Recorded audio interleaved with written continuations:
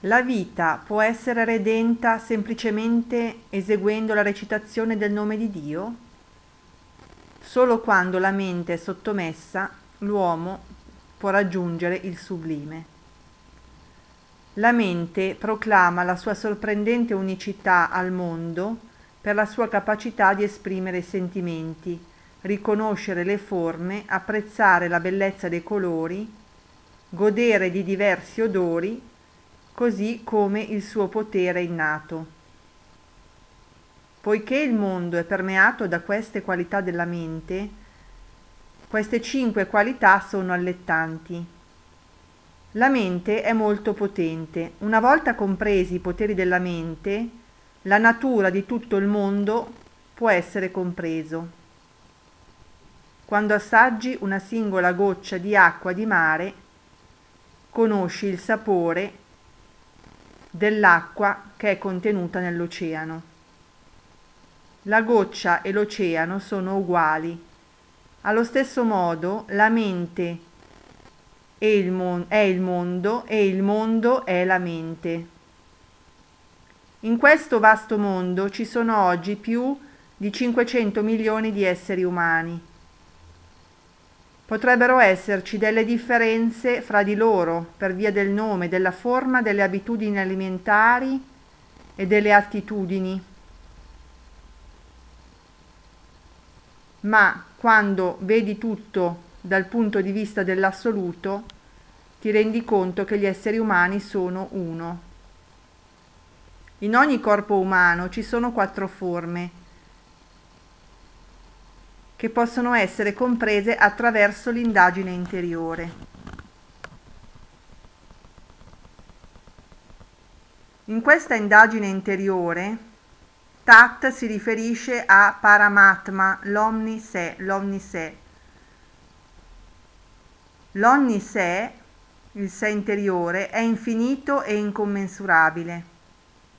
Per comprendere l'infinito Paramatma, bisogna perseguire innumerevoli percorsi o uno dei tanti innumerevoli percorsi.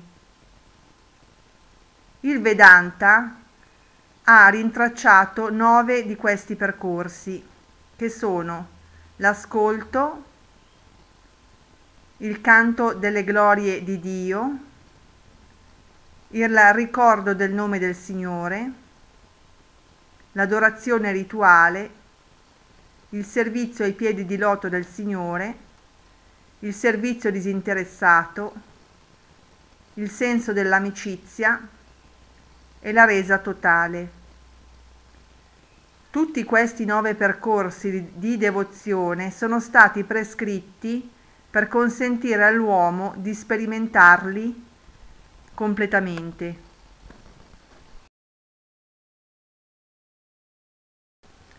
Iniziamo con il corpo fisico.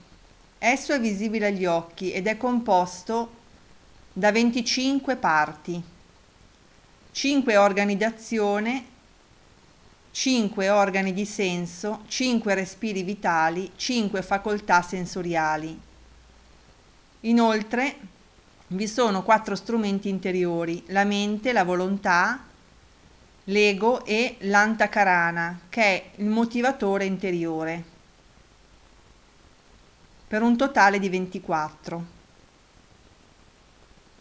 Quando tutti questi sono associati alla forza vitale si hanno complessivamente 25 componenti. Poiché questi 25 componenti sono emanati dal cosmo, l'essere incarnato si chiama, viene chiamato Vishva. Il corpo fisico ha una forma cosmica, non è qualcosa di individuale.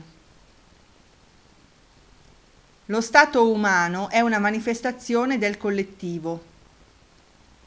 Il secondo corpo è Sukshuma Dhamma, ovvero il corpo sottile. Questo è composto da 17 costituenti le cinque facoltà sensoriali, i cinque sensi, i cinque soffi vitali, più la mente e l'intelletto. Poiché questi costituenti hanno la qualità di luminescenza, il corpo sottile, cioè appunto eh, luminoso, il corpo sottile viene chiamato Tejas oppure Tejasa, corpo di luce. Quindi le conseguenze eh, benefiche o malefiche mh, delle azioni eh, eseguite dall'uomo sono vissute da, dal corpo sottile. Il corpo sottile contiene tutta la felicità o l'infelicità eh, che, che si sperimenta del mondo.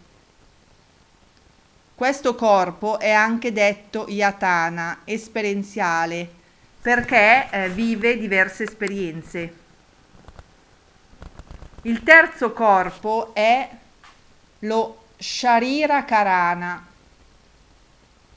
ovvero il corpo causale ed è composto solo da due elementi, la forza di volontà e la consapevolezza costante integrata. A causa dell'associazione con Praina, questo corpo è chiamato Prainanam o Praina. Il quarto corpo riguarda la mente suprema. Questo è luminosissimo ed effulgente nella sua forma originale. Questo corpo è, onnicon- è mm, onnicomprensivo, ha i poteri dell'autoconoscenza e della consapevolezza.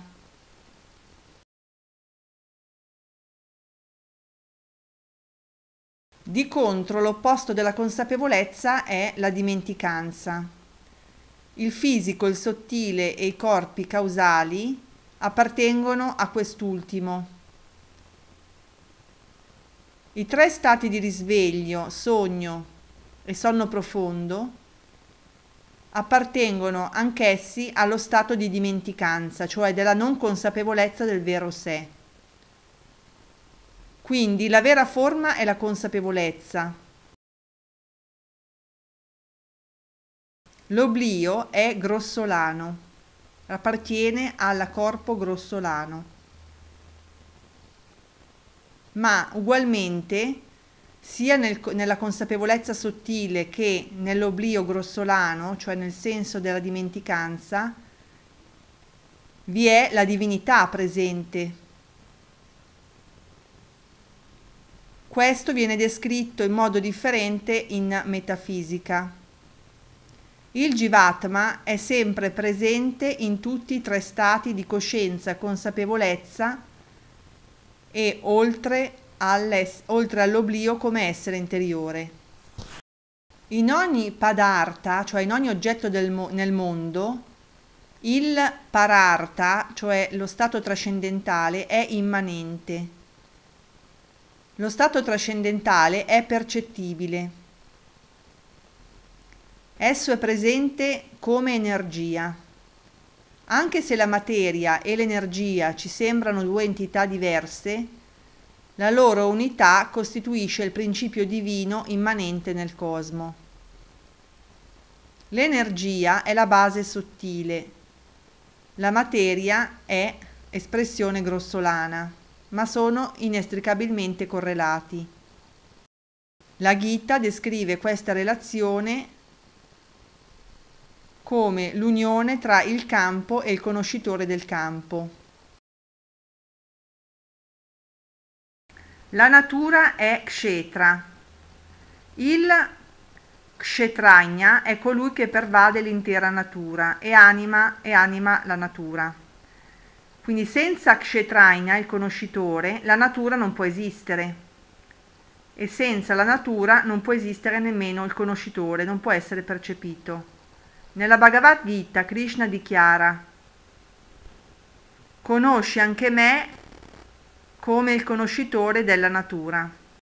In questo contesto dovrebbe essere realizzato che è dal potere della mente che la creazione, il sostentamento e la dissoluzione ha luogo nel cosmo. Questa verità è espressa nel Brahma Sutra Da ciò tutto nasce, è sostenuto da esso e si fonde in esso. Ed è anche chiamato la persona suprema indistruttibile. Akshara nel linguaggio comune significa ciò che è indistruttibile, mentre Kshara significa ciò che è passibile di cambiamento. Il segreto della vita è contenuto nei termini kshara e akshara. Il corpo è soggetto al decadimento, il sé è indistruttibile. La parola akshara contiene sia l'indistruttibile che il deperibile. A si riferisce all'atma, che è indistruttibile. Kshara si riferisce al corpo deperibile. Akshara rappresenta la forma unificata del corpo deperibile e imperituro.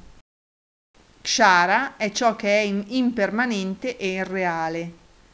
Dall'akshara emerge il divino, che è una combinazione di, entrambi, l'onnisè e la natura. Il divino è immanente nella natura, l'uno è presente in entrambi. Questo era ciò che proclamava Prahlada quando disse a suo padre Hiranyakashipu non farlo, dubito che Dio sia qui e non là. Prakriti, Prakriti non è inerte. È per l'unione della natura con il divino che l'umanità acquista la sua lucentezza. Ecco una scatola di fiammiferi nella mia mano. La scatola non mi brucia la mano. La tengo in questo asciugamano. L'asciugamano non è bruciato.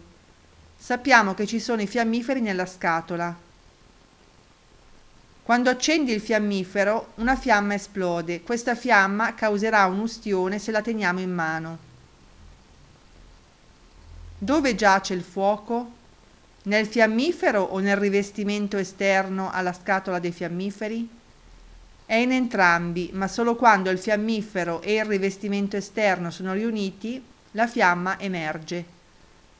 Allo stesso modo c'è una, div- una divinità nella mente e nel cuore, ma solo quando la mente e il cuore si uniscono fanno risplendere la radianza della divinità. Quando il fiammifero è immerso nell'acqua non si può produrre il fuoco, perché il fuoco produce l'elemento in esso e perde il suo potere. Allo stesso modo, quando la mente è immersa nelle acque dei desideri sensuali, perde il suo potere di irradiare la luminosità divina. Quando recupererà questa energia? Quando si sbarazzerà della sua umidità passando attraverso il processo di essiccazione, ovvero il processo del distacco.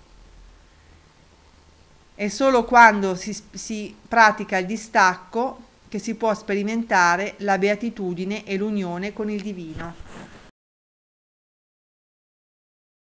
Finché l'uomo è immerso nelle attività sensuali non può sperimentare la sua vera natura.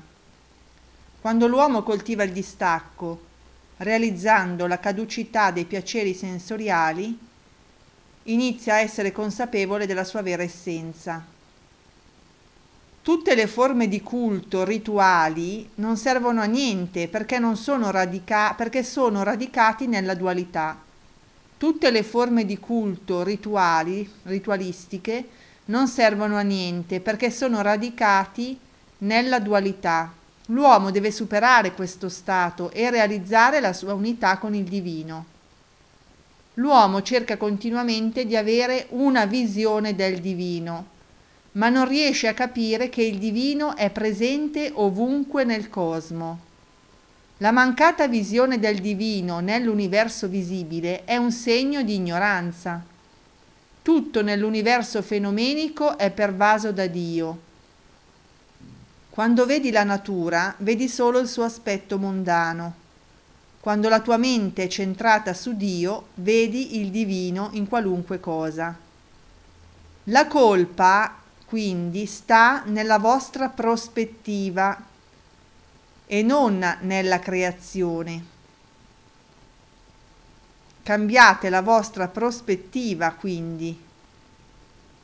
Pertanto, fin dall'inizio dovete vedere tutto come una manifestazione del divino. La difficoltà nel riconoscere la verità sul divino è stata espressa dal santo Surdas quando disse, Oh Krishna, come posso riconoscerti? Sei più sottile dell'atomo e più vasto del più vasto. Sei presente negli 84 forme di, di, specie dell'universo che permeano tutto il cosmo, dal filo d'erba alla cosa più vasta della creazione. Come posso riconoscere la tua forma infinita? I grandi sperimentano Dio in questa forma infinita, riconoscendo che il divino è presente anche nei malvagi. L'infinito numero di esseri umani nel mondo sono come le onde dell'oceano le onde possono differire nella forma, ma ognuna di esse è essenzialmente uguale all'oceano. Dall'oceano di Sat Chittananda, essenza, consapevolezza e beatitudine, sorgono onde infinite di esseri umani. Ognuno di loro ha gli attributi di Sat Chittananda, il divino.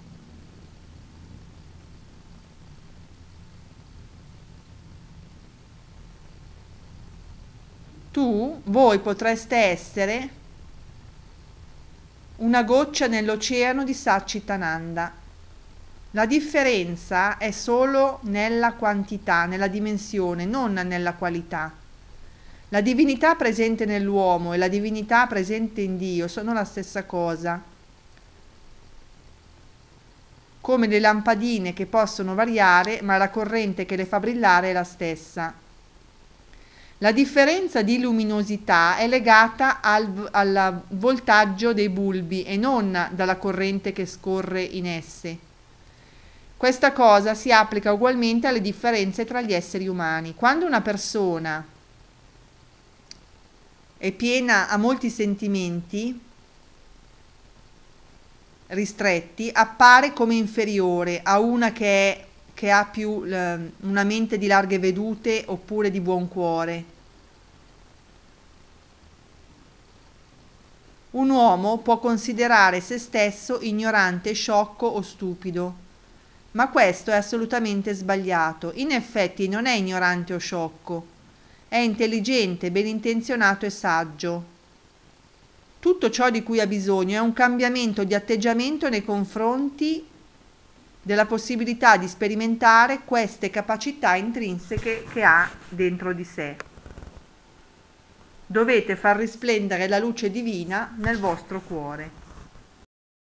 Spesso le persone dicono che si dovrebbe allargare il cuore, ma l'allargamento del cuore lo, vi farà costringere ad andare da un cardiologo. Quello che bisogna fare è ampliare la vostra mente, la vostra visione il cuore, che non, si, che non, è il cuore fisico, ma il cuore spirituale, è intre, intrinsecamente ampio, è uno con la coscienza cosmica. Non c'è bisogno di ampliare il cuore, è necessaria solo una è necessario solo ampliare la mente e riconoscere la vastità del cuore spirituale. La ristrettezza mentale concerne le idee di mio e tuo, me e ego.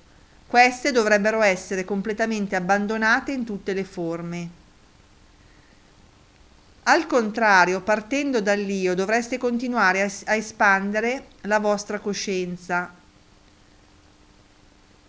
abbracciando la vostra famiglia, il vostro villaggio, la vostra nazione e infine il mondo intero. Solo così la divinità risplenderà in tutto il suo splendore.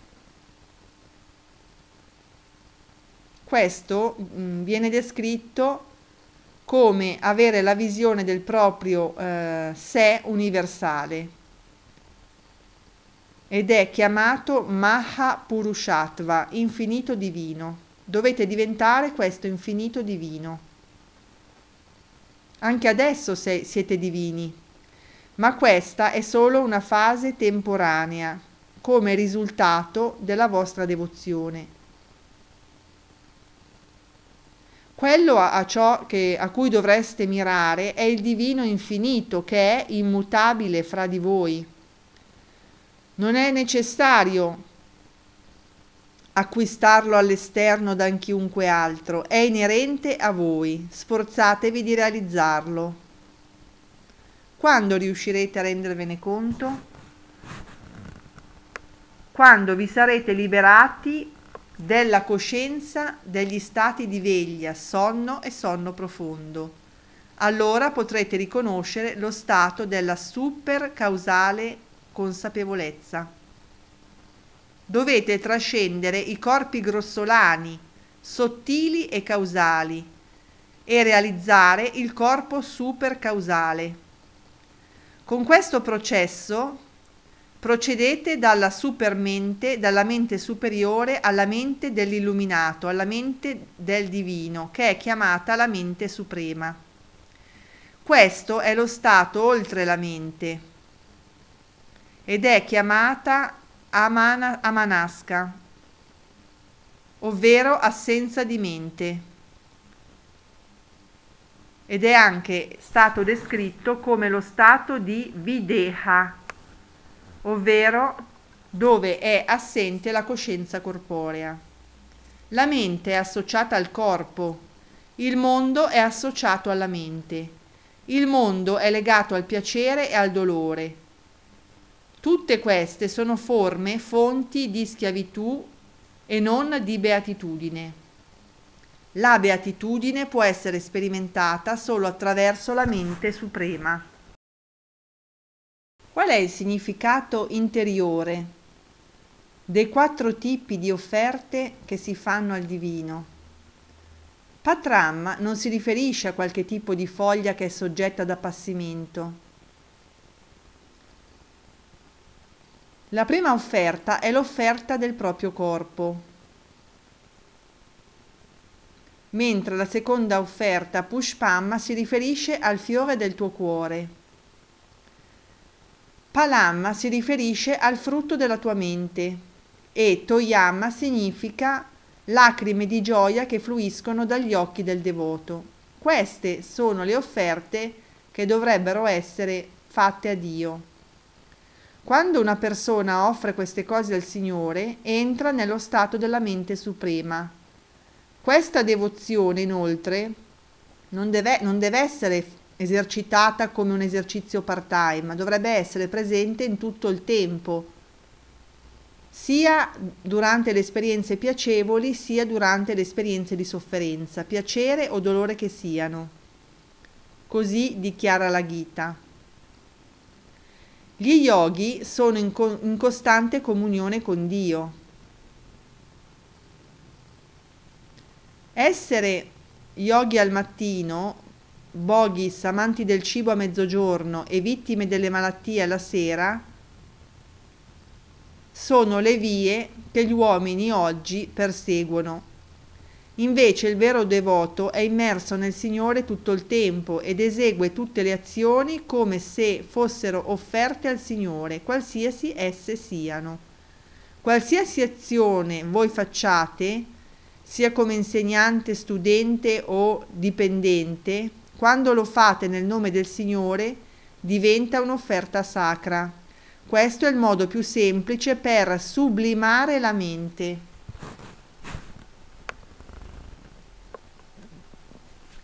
Quando voi considerate il vostro corpo come un dono di Dio, non ne farete di ogni atto peccaminoso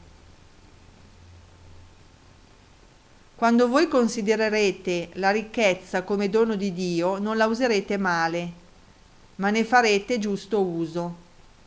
Allo stesso modo, quando considerate tutti i vostri talenti di Dio che avete sono espressione divina, li userete al servizio del divino. Nell'organizzazione Satya Sai è stato stabilito un piano quadruplice di massimizzazione dei desideri ovvero un tetto ai desideri. Questo impone a tutti di non sprecare cibo, denaro, tempo ed energia. Evitando lo spreco di queste quattro forme di doni di Dio, diventa una pratica spirituale ed è il mezzo per, reali- per realizzare il sé. La spiritualità consiste nel dimenticare le preoccupazioni del mondo e immergersi in Dio. Questo significa che bisogna santificare ogni azione nella vita, che si tratti di parlare, camminare o qualsiasi altra cosa. Anche la lettura e la scrittura sono una forma di meditazione, poiché perché richiedono concentrazione. Tutto nella vita può diventare una forma di meditazione. Evitate di fare qualsiasi cosa con la fretta. Non è difficile raggiungere lo stato della mente suprema se si ha la determinazione di realizzarlo. Migliaia di rupie vengono spese per esplorare lo spazio, ma molto poco viene fatto per esplorare il cuore dentro di sé. Quando tutti cercano di agire secondo i dettami della propria coscienza, div- la sublime coscienza verrà realizzata da tutti. Ci sono due elementi di base nell'uomo, nella testa e nel cuore. Quando questi due sono messi, nel, sono messi uniti e vengono utilizzati in modo giusto, le, anche le mani agiranno nel modo giusto. Testa e cuore uniti faranno sì che le mani agiranno nel modo giusto. La Bhakti e l'Inana, la devozione e la conoscenza, sono come la coppia dei buoi per il carro. Entrambi devono tirare insieme, ognuno deve stare al passo dell'altro e aiutare a trascinare il peso più velocemente.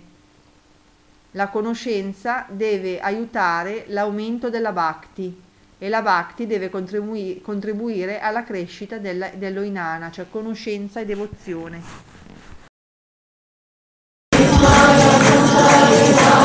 Oh,